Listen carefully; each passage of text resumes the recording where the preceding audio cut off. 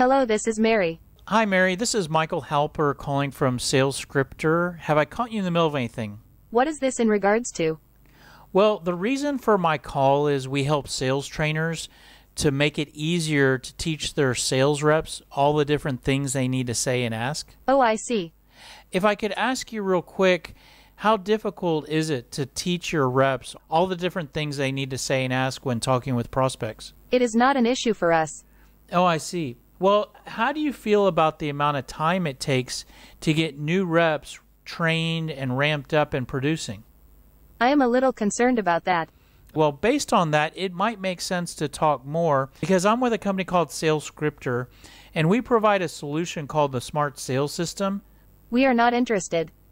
Oh, I see. Uh, are you guys using any kind of sales script or sales playbook today? I don't think so. Oh, well, that's why it might make sense for us to talk more because with our sales script library, we can decrease new hire ramp up time and improve the performance for every rep on the team.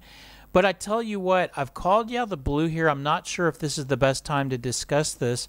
Are you available for a brief uh, call next week where I can share some examples of how we've helped other sales trainers? Sure, okay.